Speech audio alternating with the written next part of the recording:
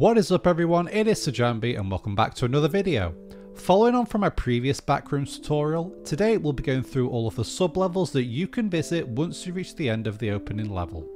In total, there are 10 sub-levels across the 9 portals which you can access once you have beaten the first level of the Roblox backrooms. Once you have beaten it, you are teleported to the rural area which is the main hub for the sub-levels. Some levels are easy to explore thanks to no threat of entities, while some will be more difficult to escape from. Let's go through each level to show you what you can expect. We begin with level 166, which is the first level you will encounter if you take the portals in order. The Roblox level is set in a nighttime suburban landscape with streets and houses which you can run through, including an underground maze of tunnels set in pitch black. You will spawn in the corner of a field to get out of the field and into the suburbs, run forward a bit and hop over the fence. Now despite being called level 166, this level is actually based on level 9 in the creepypasta and is quoted as a seemingly endless suburban landscape with the time of day being locked to midnight, which exactly fits the description of this level. To escape the game on Roblox, all you need to do is go to the small street which is in the centre of the map, and touch the greenhouse which is in the garden of the house on the right. There, you'll be teleported back to the lodge. Next up is Pipe Dreams. This level sticks with the dark theme, but is much creepier compared to level 166 due to its claustrophobic nature and the presence of entities on this level. That's right, make sure to stay on your guard and don't stray too far from others when exploring this level, as you could meet an early end if you aren't too careful. Pipe Dreams is based on the Creepypasta's level 2 and follows much of the same format. They are quoted as long, dim, concrete maintenance hallways with steam pipes lining the walls and ceilings. While multiple entities exist in the creepypasta, only the main black creatures are present on the Roblox game. To escape, all you need to do is follow the wide maintenance halls. There are orange lights on the floor guiding the way, so as long as you are following the trail, you should have no issues. At the end, the exit door is behind a pipe, touch the door to return to the lodge. The third portal will take you to the archive, which is our first exploration sublevel. With no entities initially on this level, you are free to look around and find some cool easter eggs or references to other levels, either within the game or in the creepypasta. There is a warning sign in the spawn room stating that when the lights turn red, do not enter the archive under any circumstances. While playing, this has never happened to me, so I'm unsure whether this is an active feature in the game. This level is original to the Roblox game and is a nice creative addition to the Backrooms concept. It certainly is creepy, especially when you're in a server by yourself. To leave the archive, simply go back into the spawn room and walk to the doors with a big exit sign next to them.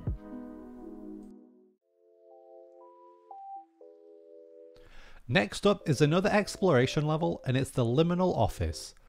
This one is a much smaller map compared to the others and there aren't too many things to look out for in terms of easter eggs. The only thing of note that I've found was the creepy message that you get when you look into the mirror. There are also a bunch of desks that you can explore, with most of them hosting your normal office supplies. You can have a look for yourselves and comment down below if you find anything cool. The liminal office on Roblox is based on Creepypasta level 4, which is known as the abandoned office on the Backrooms wiki. It's one of the safest levels in the backrooms and is described as an empty office building completely devoid of furniture. To escape, go to the room with a green carpet that is next to the spawn room and enter the elevator to return to the lodge. As soon as you enter the pool rooms, you will see that it is one of the more beautiful levels in the game. With white tiled walls, clear flowing water, it's a place that I wouldn't mind staying in for a while. While very different visually from Pipe Dreams, it has the same kind of map structure as the darkened corridors, since you need to follow a path to find an exit at the end of it.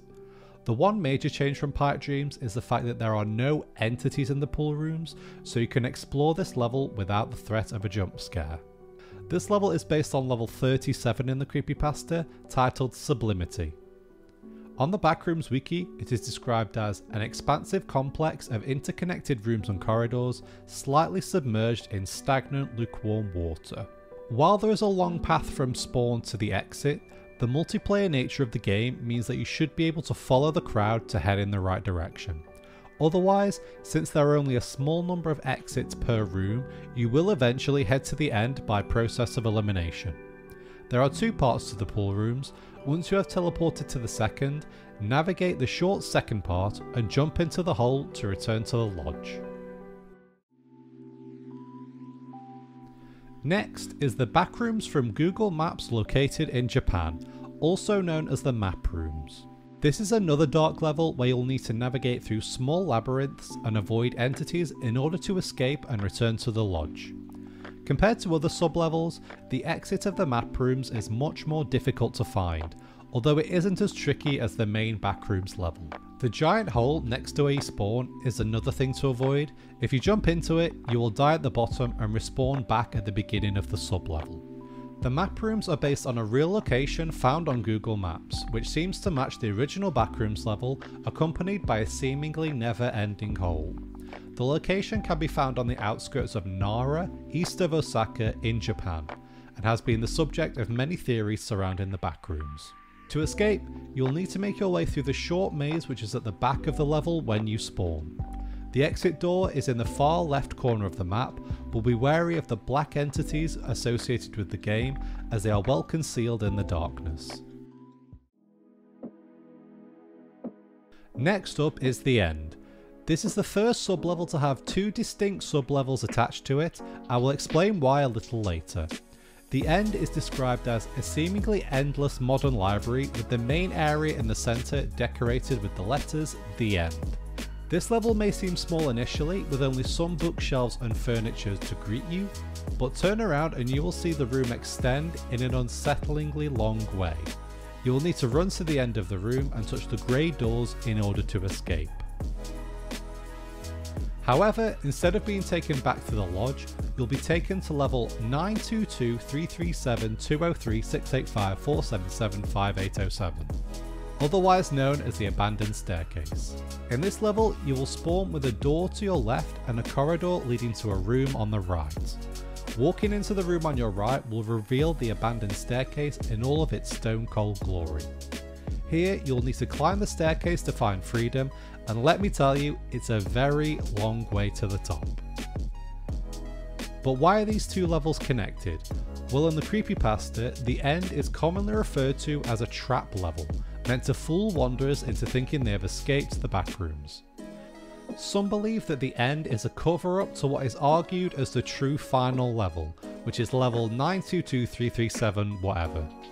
This is why the two levels are linked on the Roblox game. A quick way to escape the abandoned staircase is to go through the door on your left when you spawn.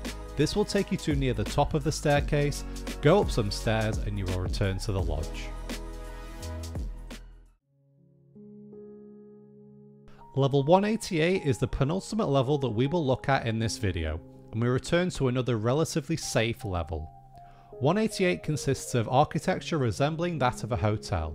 A large court-like area is present in the centre of the level, surrounded on all sides by numerous small square-shaped windows on each wall. To me, this feels like another exploration level where you can look around and explore as if you were there yourself, rather than relying on images. There aren't too many interactive features on this level, except for that one spooky window on the second floor, which caught me out the first time I saw it. Level 188 is based on the level of the same name in the Creepypasta series, with pretty much everything matching the description as it is mentioned on both the Wikidot and the fandom wiki. The real life location can be found at Heathrow Airport Terminal 4, which is referenced in the Roblox game on a wall next to the spawn. To escape, return to the courtyard and touch either of the double doors to the left of where you spawn. That will take you back to the lodge.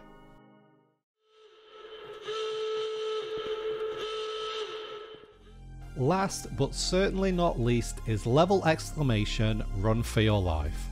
Unsurprisingly, this is the most difficult level to beat and is the only level which you can fail to complete. Level exclamation consists of a long hallway with architecture resembling a hospital, Flashing red lights are present, along with an audible emergency alarm noise. On this level, you will have 2 minutes to run through the hallways and reach the exit door at the end of all the corridors. You will need to dodge, jump over and roll through a number of obstacles which will make this such a challenging level. If the entities catch up, you'll begin taking damage until you die or run fast enough to escape. You have 150 HP and this does regenerate if you take damage and escape. There are two main ways to fail this level. You can take too much damage from the entities, or you can run out of time and be kicked from the server. In both scenarios, you'll be taken back to the opening backrooms level to start all over again. Level Exclamation is based on and shares its name with one of the most dangerous sublevels in the Backrooms lore, with wanderers having to run over 10 kilometers before reaching the exit. Thankfully, you don't have to run that far in the Roblox game to escape. While there is no easy tutorial for this level, I will give you some tips which will help you finish it. The first is to play in first person since you can jump and roll past the obstacles easier. I would also turn your sound off as the horn can be quite annoying. Lastly, don't panic if you are caught, your health regenerates fairly quickly once you put space between you and the entities, so you can make quite a few mistakes and still make it to the end. That rounds up all of the completed levels in this game, however there is one more level that is currently in development which might be added to the lodge soon. It's titled level underscore HL, and when navigated, takes you to a secondary level to complete. Once I know more, I hope to update you on what all of that is about. Thanks so much for making it to the end of the video. I hope you enjoyed it and hope you managed to learn a little something about the game and its sublevels. Don't forget to hit the like button if you did enjoy it and subscribe and hit the bell icon for future videos. See ya!